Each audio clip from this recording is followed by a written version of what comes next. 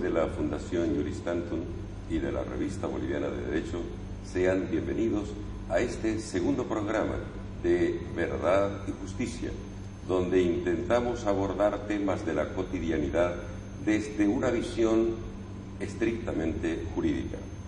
Dos ideas fuerza o dos eslogans se han constituido en la fuerza motivante para la realización de este proyecto, de este programa de televisión, y son la verdad como fundamento de la justicia. Y luego, nuestra percepción de lo justo nos induce a interpretar la verdad. De ahí nace el nombre del programa Verdad y Justicia. Quiero hacer una mención especial al trabajo tesonero arduo de Jimena Guzmán, mi compañera de presentación, a quien ya le doy la bienvenida. Jimena, buenas Hola Orlando, buenas noches. Un caluroso saludo para todos ustedes. Antes de ingresar a la parte de la introducción sobre el tema, quiero expresar un especial agradecimiento y reconocimiento a las autoridades de esta superior casa de estudios, al licenciado Saúl Rosas, rector, y al doctor Osvaldo Ulloa, vicerrector. También a las autoridades y directivos de este canal y al personal operativo que permite que podamos salir en las condiciones que lo estamos haciendo. Quiero también mencionar el auspicio especial y la colaboración de don Walter Ustares, que es el propietario y gerente general de Imprenta Sirena. Y ahora sí, vamos a intentar introducirnos en lo que será el tema de esta noche. ¿La remoción y cambio de fiscales afecta o no y de qué manera al desarrollo del proceso penal? ¿Afecta a las partes involucradas, al imputado, a la víctima, etcétera? Todos esos temas, esas posibilidades, vamos a intentar discutirlas a través de las entrevistas realizadas por Jimena Guzmán. Pero como introducción, apenas decir que el proceso penal se rige por una serie de principios, entre ellos el de celeridad, inmediación, objetividad, transparencia, que están estipulados tanto en la ley del órgano judicial como en la nueva ley del Ministerio Público. Pero de todos estos principios los que nos importan hoy son en especial dos o tal vez tres. El primero es el principio de objetividad, que debe primar en la tarea que desarrolla el fiscal de materia asignado como director de la investigación en un proceso penal. La objetividad, esa cercanía, ese contacto directo con los elementos indiciarios y probatorios puede determinar que sirvan para ah, fundar una acusación o fundar una imputación de manera previa pero también para eximir de responsabilidades a quien está siendo querellado, investigado o imputado. El otro principio es el de mm, inmediación. Vendría a ser el contacto directo que tiene el, fiscal, el policía, el juzgador en su caso, con los elementos de la prueba, con las personas que están siendo investigadas o con las personas que han sido testigos de un hecho delictivo determinado. Por eso, estos dos principios podrían verse afectados por la remoción y cambio de fiscales. ¿Cómo y de qué manera es lo que vamos a tratar de abordar en el transcurso de este programa? Inicialmente, Jimena nos introduce en el tema a través de su trabajo periodístico. De carrera hemos sido preparado y capacitado para conocer todos los casos. Los fiscales son abogados que dirigen la investigación de los delitos, los que determinan la participación punible y los que acreditan la inocencia del imputado. Sobre la base de su investigación debe ejercerse la acción penal pública, formulando acusación en contra de los responsables y sosteniendo dicha acusación en un juicio ante tribunales de justicia. Según datos de la Fiscalía General de la Nación, en Bolivia existen poco más de 800 fiscales con un promedio aproximado de mil causas cada uno. De ese total, 769 tienen procesos penales y casi 600 tienen procesos disciplinarios. Los delitos supuestamente cometidos por dichos funcionarios son recurrentes. Corrupción, incumplimiento de deberes, uso indebido de influencias, retardación de justicia, resoluciones contrarias a la Constitución y a las leyes, peculado, conducta antieconómica, cohecho pasivo propio, malversación y concusión. El departamento con mayor cantidad de fiscales procesados es Santa Cruz, donde el mismo fiscal del distrito fue remitido a la cárcel de Palmasola al quedar inmerso en la denominada red de extorsión. Isabelino Gómez es acusado junto a otros fiscales por extorsión y tráfico de influencias y su caso involucró hasta la ministra de Transparencia y Lucha contra la Corrupción, Nardi Suxo. Precisamente Isabelino Gómez instruyó el cambio de fiscales sin dar explicación alguna. Uno de los cambios más llamativos fue la destitución del fiscal Jorge Tamayo, considerado por muchos de sus colegas como el superfiscal. Jorge Tamayo llevó adelante la investigación de casos importantes, como la desaparición de las primas Strobel y Becerra Suárez, la intervención del Bingo El Dorado, el asesinato del boliviano ruso Igor Gorelkin, el crimen de un agropecuario en la zona del Urbó y el supuesto atentado contra Juan Ramón de la Quintana. Isabelino Gómez también suspendió al fiscal Carlos Candia, principal investigador de la Comisión de Fiscales que llevó el caso de corrupción en yacimientos petrolíferos fiscales bolivianos durante la gestión de Carlos Villegas. Al contrario de esa soltura en remoción de fiscales, está la insistencia desde cargos jerárquicos por mantener al cuestionado fiscal Marcelo Sosa a la cabeza del denominado caso terrorismo. Para muchos entendidos, si Sosa se va, se cae la acusación. Tenemos que indicar de las estadísticas que nos ha mostrado Jimena en esa nota introductoria que el número de fiscales, el número de procesados penalmente o disciplinariamente, nosotros formulamos hoy una promesa, investigar y llegar hasta el final para saber de todos esos casos, principalmente en Santa Cruz, cuántos fiscales han obtenido sentencia que haya permitido que paguen por el supuesto delito del que se los ha acusado. Y eso todo para que ganemos en confianza hacia la labor que desarrollan los organismos policiales y el Ministerio Público en particular. Pero sobre este tema, sobre el tema de qué manera puede influir en el proceso penal el cambio y la remoción de los fiscales, consultamos con tres profesionales entendidos en la materia y ellos así se expresaron. Bueno, de acuerdo a la ley, de acuerdo al Código Procesal Penal, los fiscales este, deben intervenir en todos aquellos procesos penales que son de acción pública, es decir, este, su intervención además es directa y se convierten en parte principal del proceso.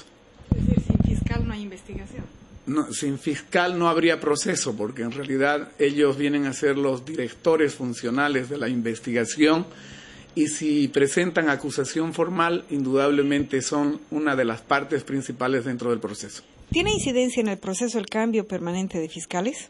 Este, afecta a las partes, afecta al propio proceso, afecta a los plazos que se deben cumplir y sobre todo eh, afecta a la retardación de justicia. El fiscal desde el comienzo tiene conocimiento del hecho, de, del conocimiento del hecho y él, él, ha visto con sus ojos, digamos, este, todas las pruebas, todas las pruebas que han aportado en primera instancia las, las partes, ¿no? Entonces, si llega el fiscal después, eh, después, en medio proceso, no tiene conocimiento de los hechos que, que ha pasado anteriormente, ¿no? A mí me parece que es muy negativo cuando se comienza una investigación en el ámbito penal eh, a través de la, de la policía y bajo la dirección del Ministerio Público. Entonces, este, eso eh, acontece permanentemente, lo vemos, de que eh, se está realizando una investigación de un caso X y viene la rotación de fiscales, porque hay la rotación que hacen los fiscales en distintos puestos, ¿no? Entonces ese fiscal que estaba realizando, eh, investigando un caso X, este, por la rotación que se realiza de la FELCC, puede ser eh, cambiado, digamos, a la aduana, por decirle, ¿no? entonces deja ese caso y viene otro fiscal. Entonces creo que eso es muy perjudicial para la investigación. En realidad es perjudicial para quién. Eh, muchas veces el cambio de fiscal se puede utilizar para agilizar o encauzar adecuadamente un proceso investigativo, pero también para demorarlo y de alguna manera favorecer a quien está siendo acusado de la comisión de un ilícito penal. Pero en este tema quisimos también eh, consultar la opinión de las instituciones involucradas en el tema. Y hablo, en este caso, de la Corte Departamental de Justicia, del Ministerio Público y también del organismo de la Policía Nacional. Consultamos sobre ellos el mismo tema, de qué manera afecta al proceso penal, al desarrollo del proceso penal, el cambio permanente de fiscales. Eh, yo le sugiero que vaya usted y consulte con el señor fiscal de distrito. Yo tengo un jefe por, que está por sobre de mí, entonces vaya y consúltele a él. ¿Usted no puede emitir declaración? Es una atribución netamente del señor fiscal de distrito y lo que no son mis atribuciones mías no tengo por qué emitir ninguna opinión. Los fiscales, al menos quienes consideramos que somos fiscales de carrera, somos egresados de la, del Instituto de Capacitación del Ministerio Público, estamos capacitados para llevar cualquier proceso penal. Sin embargo, hay que reconocer que debido a la materia se requiere también de fiscales especializados. Por ejemplo, no es lo mismo investigar unos delitos vinculados a tráfico de sustancia controlada, tiene sus propias características, unos delitos vinculados a contra los delitos contra la vida, asesinato, homicidio, etc. Como ninguno de los dos es igual investigar delitos vinculados a eh, víctimas especiales, como decir estupro, violación. Cada delito constituye elementos que el fiscal debe manejar de mejor manera para poder tener una mejor, eh, un mejor desenvolvimiento en cuanto a la persecución penal y a los resultados que se queda el Ministerio Público como acusador. Afecta en la medida de que el fiscal que investiga tiene mejor conocimiento que aquel fiscal que ingresa en medio proceso o al final del proceso. Eso es cierto. Bueno, afecta en principio porque la coordinación de principio con el investigador ya está hecha, ¿no es cierto? Eh, se empieza de, cero, por si la investigación y se va coordinando con el fiscal. Una vez que ocurre el cambio, el nuevo fiscal que, llega no conoce el caso no sabe todos los pormenores, entonces tiene que el fiscal nuevamente empaparse de todo lo que es el, proceso, como se ha llevado a cabo, y tal vez eh, en, el momento de conversar y volver a querer eh, el caso, él, puede escaparse algunos detalles importantes al investigador o tiene otro criterio diferente a lo que estaba llevando con anterioridad. Entonces afecta de, gran manera este tipo de cambios. Efectivamente, la ley del Ministerio Público establece clarísimamente la unidad del Ministerio Público. ¿Qué significa eso? Que cualquier fiscal puede hacerse cargo de determinadas investigaciones. Sin embargo, en la práctica eh, tropezamos con muchos problemas.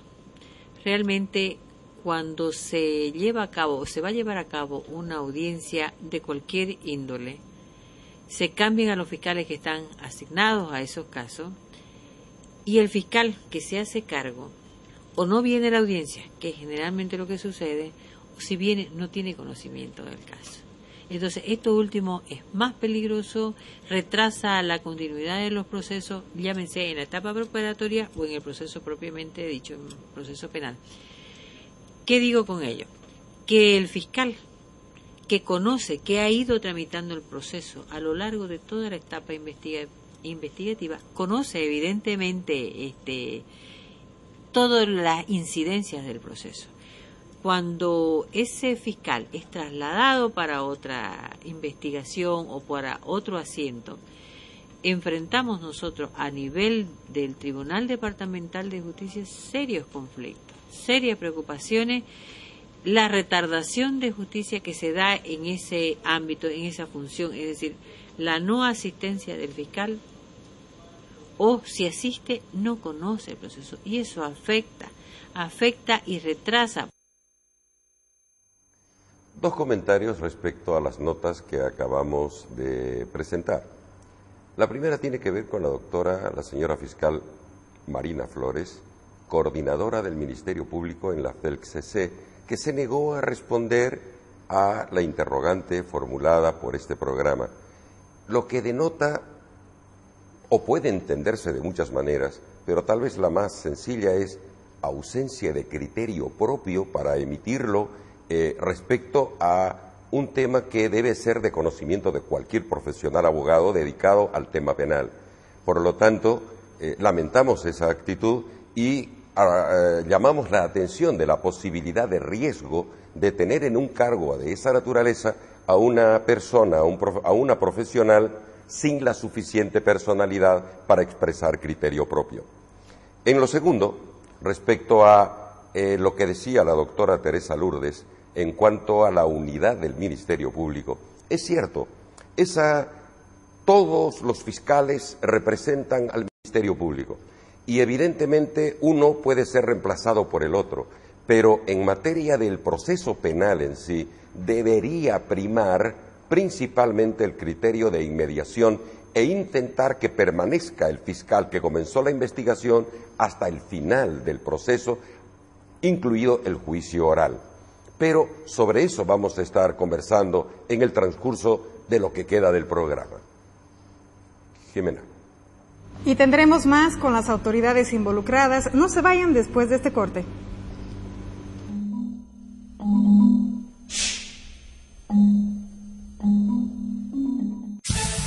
Oxígeno celebra el carnaval con el país. Una edición especial para celebrar. Retrato de la predilecta del carnaval de Oruro. Los bolivianos votan y deciden por la fiesta mayor de Oruro. Oficialistas y opositores aprenden las lecciones del Beni rumbo al 2014. La ministra Viviana Caro revela cuántas ciudades intermedias tiene Bolivia, según el censo 2012. Oxígeno, la revista que se respira y celebra. Cómprela en todo el país.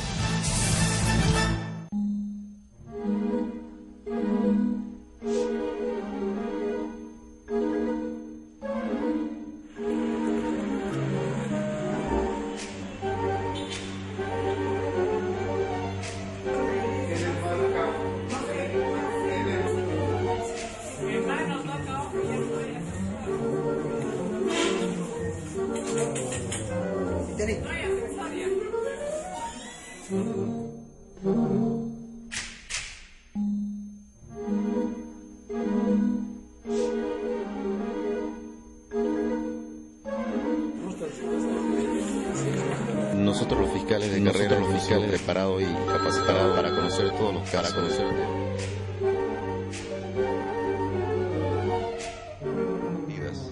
el artículo. ¿Y cuál será el procedimiento que deberán emplear? Totalmente antidemocrático. ¿Por cuánto? y el mío propio hasta el próximo lunes. La verdad y la justicia. La visión de dos valores desde todas las miradas. Un programa diferente. Un programa para usted.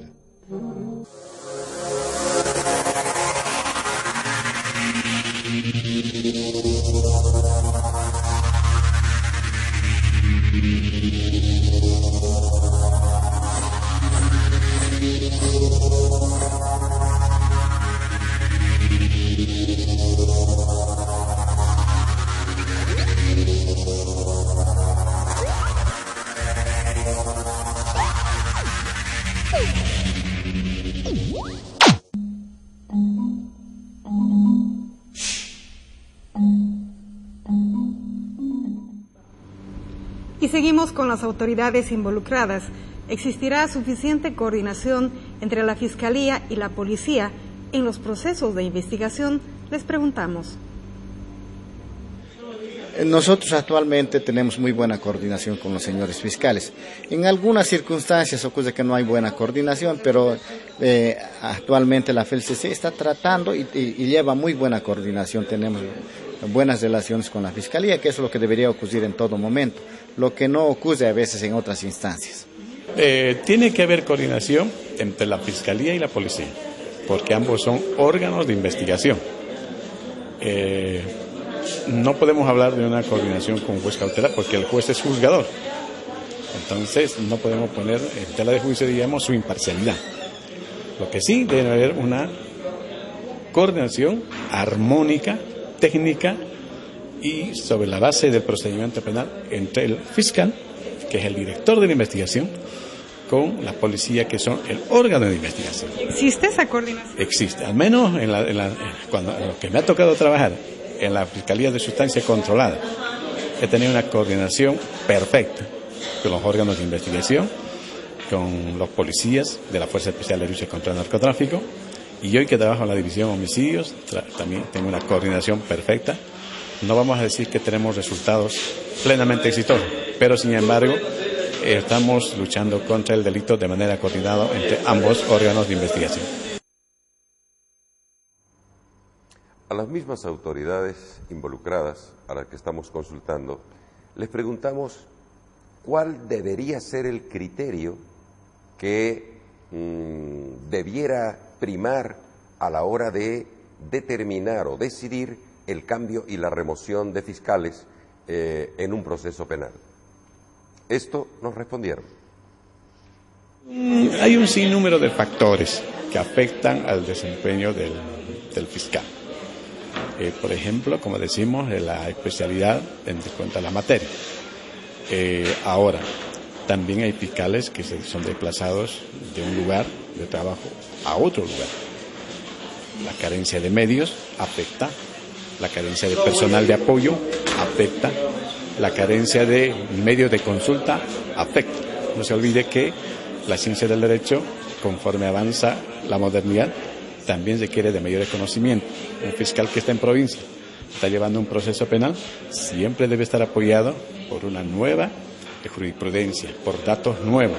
Y muchas veces en provincia no tenemos esa facilidad de ingresar Internet, etcétera, Considero particularmente que el fiscal, aun cuando ha sido removido de esas funciones, pero mantiene su calidad de tal, es decir, el fiscal debería continuar con la investigación, porque eso le digo, este genera problemas. ¿Y qué criterios debería primar? La celeridad, la transparencia, la acumulación de todos los indicios iniciales y evidencias posteriormente, todo eso debería primar para evitar sobre todo la retardación y que luego desemboque en una extinción de un proceso. Pueden ocurrir los cambios, ¿no? Pero lo que deberían hacer que, que terminen los procesos pendientes que ellos tienen, no de asignar a otros fiscales. Eso ayudaría en gran manera a la coordinación, ¿no es cierto? Porque independientemente si le cambian por decir de división, podrían continuar con el caso hasta la conclusión, hasta llevarle al juicio oral y bueno, después se apartan, ¿no es cierto?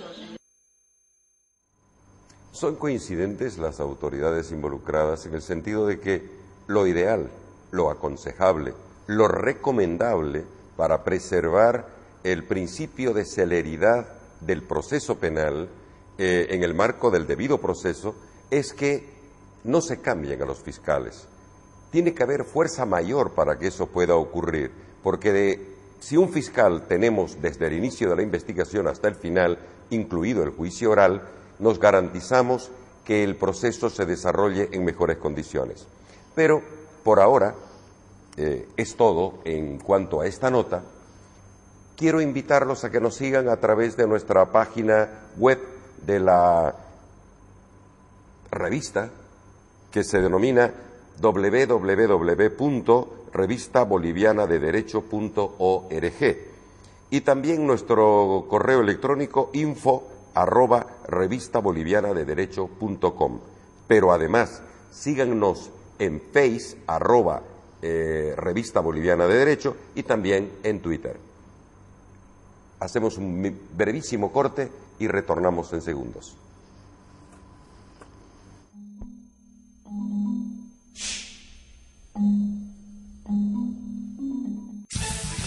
Oxígeno celebra el carnaval con el país. Una edición especial para celebrar. Retrato de la predilecta del carnaval de Oruro. Los bolivianos votan y deciden por la fiesta mayor de Oruro. Oficialistas y opositores aprenden las lecciones del Beni rumbo al 2014.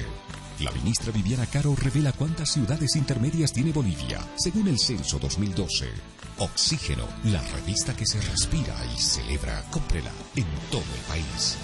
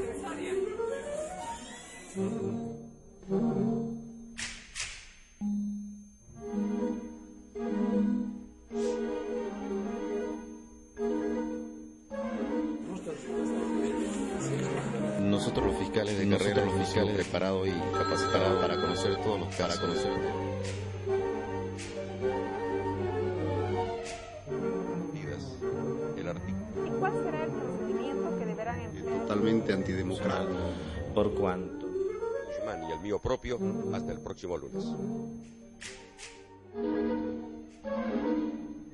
La verdad y la justicia.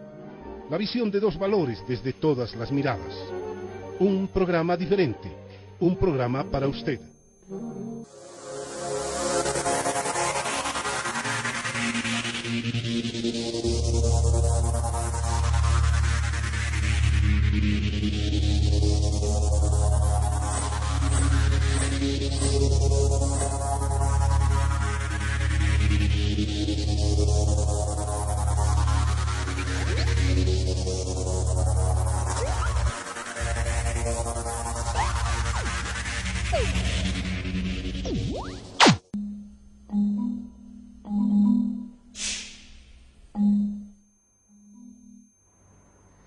Y ahora intentamos irnos al otro lado del mostrador. Quisimos conocer la opinión de los abogados, penalistas, litigantes, que serían los que sufren en carne propia por sus clientes este, estos impases que se generan en el proceso por el cambio de fiscales. A ellos le formulamos la misma pregunta. ¿Cómo afecta en el proceso penal ese cambio y remoción de fiscales de un proceso a otro? Esto nos contestaron. Obviamente el cambio de fiscales afecta en cualquier proceso por una sencilla razón. Si alguien inicia una investigación, obviamente él debe concluirla. En cambio, si viene alguien a medio camino cuando la investigación está empezada, no sabe absolutamente qué ha sucedido antes. Entonces los casos deben comenzarlo y terminarlo los mismos fiscales. Eso es lo lógico y lo racional. ¿Le ha pasado esto que, y en qué casos?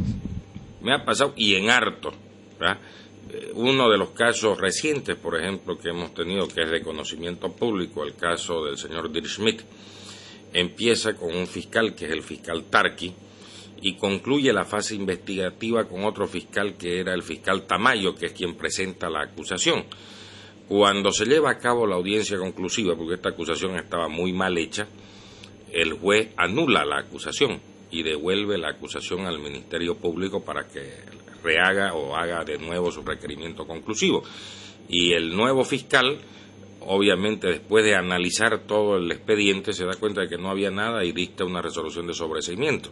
Cuando a un fiscal se lo cambia eh, de una investigación a otra división para hacer otras investigaciones, se topa con varios cuadernillos de investigación, el cual tiene que leerlos de nuevo y quizás por su turno, para recién de ahí analizar el caso y proseguir con las investigaciones. Entonces, a quien afecta esto es cabalmente al justiciable, a la persona que denuncia un hecho delictivo.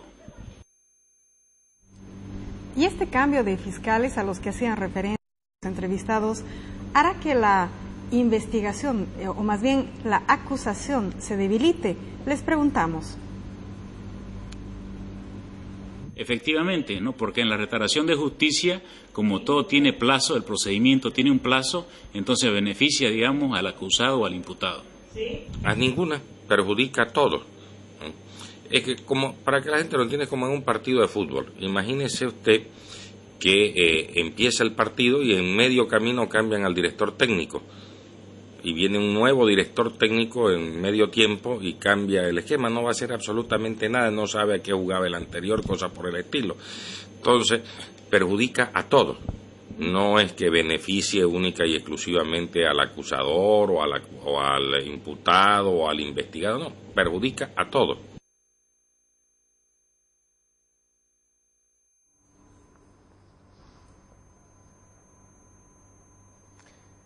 Continuamos con nuestro tema eh, sobre el cambio y la remoción de fiscales y su afectación en el proceso penal. Le hacemos una última pregunta a nuestros entrevistados abogados penalistas prestigiosos. ¿Qué criterios debieran primar y aplicarse a la hora de decidir por el cambio de un fiscal en un proceso penal en andamiento? Esto respondieron. Comparto que deben haber algunos cambios en ciertos momentos, por ejemplo, cuando se nota un fiscal que está actuando con absoluta falta de objetividad, con parcialidad, eh, con una notoria incapacidad, ahí está bien que se lo cambie cuando ha sido encontrado en un acto poco ético o ilícito. Entonces, en esos casos sí corresponde el cambio, pero en un caso normal donde no habría coimas, no habría absolutamente nada, un fiscal debe empezar y debe terminar el caso. Claro, lo que debería hacer es el fiscal de distrito eh, como norma, que así lo va a ir entendiendo, eh, que tenemos un nuevo fiscal del distrito, de que de forma mesurada, ¿no? Eh, vaya cambiando y rotando fiscales, pero no vaya, lo vaya rotando semanalmente, mensualmente. ¿Por qué? Porque ya pierden el hilo, como se dice, de la investigación y le va a tocar a otro fiscal asumir que desconoce la causa, en perjuicio para el justiciable, en perjuicio para el que, acude a una justicia pronta y oportuna. Esa ha sido la opinión que hemos extraído de nuestros entrevistados abogados penalistas sobre el tema que estamos debatiendo en esta noche. Ahora los invitamos a un último corte publicitario y luego retornamos con el programa.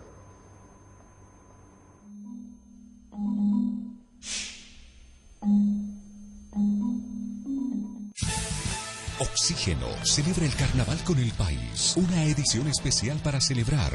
Retrato de la predilecta del carnaval de Oruro. Los bolivianos votan y deciden por la fiesta mayor de Oruro. Oficialistas y opositores aprenden las lecciones del Beni rumbo al 2014. La ministra Viviana Caro revela cuántas ciudades intermedias tiene Bolivia, según el censo 2012. Oxígeno, la revista que se respira y celebra. Cómprela en todo el país.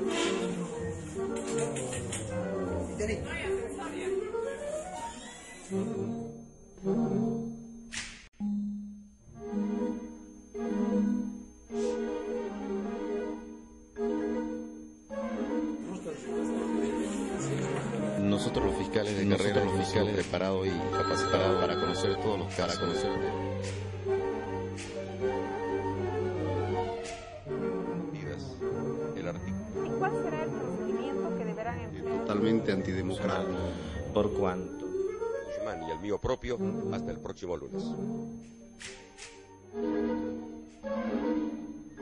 La verdad y la justicia. La visión de dos valores desde todas las miradas. Un programa diferente. Un programa para usted.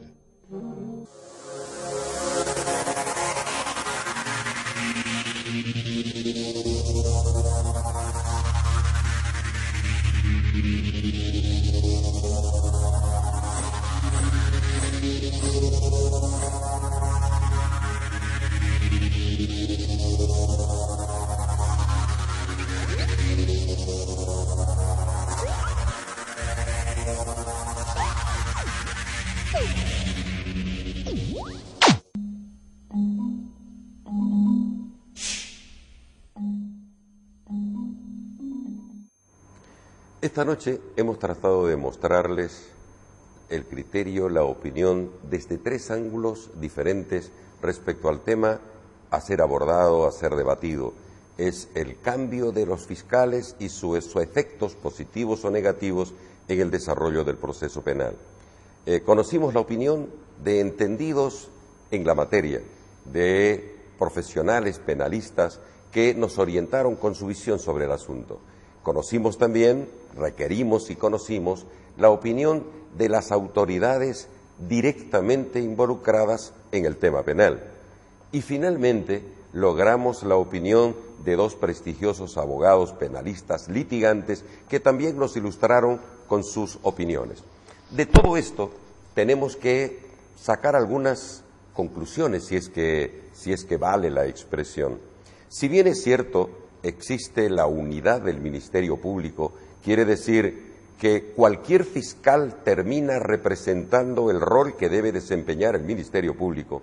Y también tenemos que asumir que una de las facultades que tiene el fiscal general de la República y los fiscales de distrito es el de remover y reasignar fiscales de un caso a otro, de una localidad a otra, tenemos que concluir y estar de acuerdo todos en que estos cambios terminan perjudicando el normal desarrollo del proceso penal. Que este, este perjuicio pueda a momentos beneficiar al imputado o beneficiar al acusador, yo lo veo desde la perspectiva un poco más clara.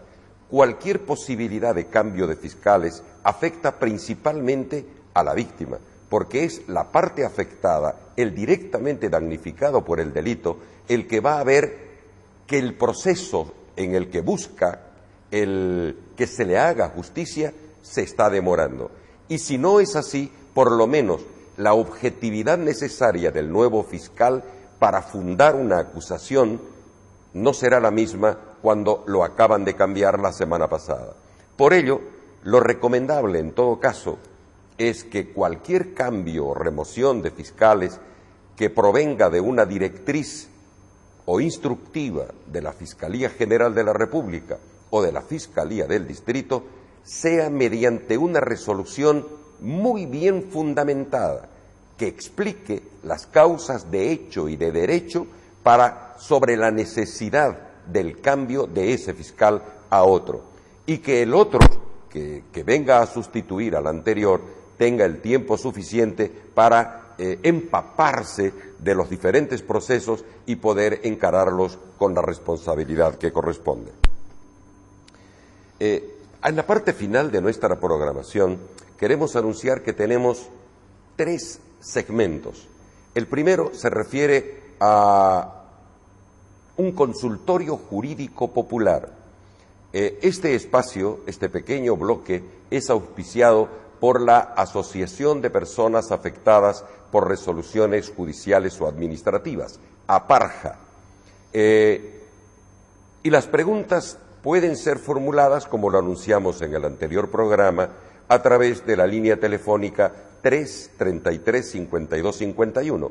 El único requerimiento es la identificación del nombre, el número de carnet de identidad, el número de teléfono desde el que nos están llamando para que nosotros podamos verificar la autenticidad, formular la pregunta y nosotros la vamos a tratar de absolver en el transcurso de este programa. Ese es uno de los segmentos. El otro segmento se refiere a la promoción mm, cultural de publicaciones jurídicas. Y el último, que lo, vamos a volver a anunciar, se refiere a la solicitud que le hacemos a usted, amable oyente, para que nos facilite lo que usted considere se constituya en la mejor o en la peor resolución administrativa o judicial. También en este caso vamos a requerir de ustedes que nos faciliten una fotocopia de la resolución judicial o administrativa que nos indiquen de qué proceso administrativo o judicial se trata para que lo podamos constatar, eh, verificar su autenticidad y sobre eso presentárselas a consideración de todos ustedes. Pero volvamos al primer segmento de esta última parte y que se refiere al consultorio jurídico popular que auspicia la Asociación de Personas Afectadas por Resoluciones Judiciales o Administrativas. Jimena. Bueno, em, además de la línea telefónica, el 333-5251, pueden hacer llegar sus consultas al correo electrónico info arroba revista boliviana de derecho punto org, o caso contrario ingresar a nuestra página web www.revistabolivianadederecho.org y se van al link de contactos. Ahí estaremos atentos para atender sus solicitudes. Tenemos, Orlando, eh, dos consultas para esta noche. La primera nos las ha hecho llegar el señor Juan Alberto Sánchez Pedriel con cédula de identidad 2530-105 La Paz y dice lo siguiente. Estoy siendo perseguido por asistencia familiar, pero ya mi hijo es mayor de edad. ¿Hasta cuándo o hasta qué edad debo pagar esa asistencia? Eh, debo manifestar que han habido algunos cambios eh, sustanciales en la norma constitucional, inclusive referido al tema de la asistencia familiar. El artículo 64, si mal no recuerdo, de la Constitución Política refiere de que es obligación de los padres eh, prestar la debida atención, asistencia, manutención y también educación de los, de los hijos e hijas mientras sean menores de edad o tengan alguna discapacidad. Pero en el tema en concreto a lo que nos consulta el, el, amigo, tiene que ver con que ya se ha llevado a cabo un proceso y él ha sido condenado al pago de una asistencia determinada y con esa liquidación seguramente lo han notificado y lo están persiguiendo para que haga efectivo el pago correspondiente. Aquí nosotros tenemos que ser claros para todos. Una vez emitida la sentencia eh, calificando o determinando el monto a pagar eh, de una asistencia familiar y esta no es cumplida, eh, se sigue un trámite, se elabora una liquidación determinada, con esa liquidación de las asistencias no canceladas es notificado el obligado y tiene tres días para cancelar. Si no lo hace, se va a emitir en su contra mandamiento de aprehensión. Pero y aquí viene la pregunta creo que formula el, amigo, se refiere es, es mayor de edad y hasta cuándo va a tener que pagar. Ambas vamos a tratar de absolverlas en una sola respuesta. Eh, la asistencia familiar corre desde que el obligado es citado con la demanda y la cesación o suspensión o modificación de esa asistencia corre desde que se ejecutoria la resolución. Lo voy a decir en términos más coloquiales y sencillos. Señor, usted para dejar de cancelar la pensión a la que ha sido condenado para, para su hijo, debe usted presentar una demanda de cese, de cesación de la asistencia, acreditando que es mayor de edad para que la resolución judicial lo libere. Mientras eso no ocurra, usted continúa siendo obligado al pago de asistencia. Otra pregunta de la señora Teresa Escobar Mamani con cédula de identidad 2567290 Santa Cruz. Y dice, mi vecina ha construido al lado de mi casa un edificio de ocho pisos que me deja sin sol y sin viento. ¿Eso es legal? ¿Qué debo hacer? Eh, toda la planificación, voy a aprovechar para tal vez eh, salirme un poquito del tema, pero a comentar toda la planificación de Santa Cruz, eh, de la que hizo, mm, de la que participó en mucho eh, el fallecido Rolando Aguilera Pareja, eh, de lo que él llamaba la ciudad jardín, se está, se está viniendo por los suelos en los últimos años. La alcaldía municipal, el plan regulador en especial, ha comenzado a hacer vista gorda de un sinnúmero de edificaciones absolutamente ilegales fuera de norma y que atentan los derechos de los vecinos. Eh, existe todavía vigente un código de urbanismo y obras que fue aprobado en el Consejo Municipal, hay otro que está en estudio por aprobarse, pero mientras tanto, este, este, esta norma, este código de urbanismo y obra, regula las construcciones, la altura, las dimensiones en el casco viejo, en el primer anillo, segundo anillo, tercer anillo, etcétera. Todo eso prácticamente ya no existe. Dentro del primer anillo, entre primero y segundo anillo, no pueden haber construcciones, por ejemplo, más de tres pisos. Y sin embargo, los hay de ocho, los hay de diez. ¿Quién controla eso? Hay una autorización. Si usted va a la alcaldía, probablemente le dirán que no hay autorización, pero es lo mismo, porque no dicen nada ni hacen nada. En el caso suyo, en especial, eh, a su pregunta, señora, es lo siguiente búsquese un abogado que entienda de la materia y tenga seguridad que va a presentar una demanda para impedir que esa construcción continúe o para que le resarzan del daño que le está causando a su intimidad y al derecho que tiene usted a la luz y al aire, a la ventilación. Por lo tanto, hay antecedentes que en su caso nos brindamos para, para facilitarle a su abogado sobre procesos similares con resultados positivos. Lo importante, reclame, señora, no se quede callada, reclame, porque si usted no reclama, sus derechos van a ser conculcados y con, y con su consentimiento, que es lo más grave.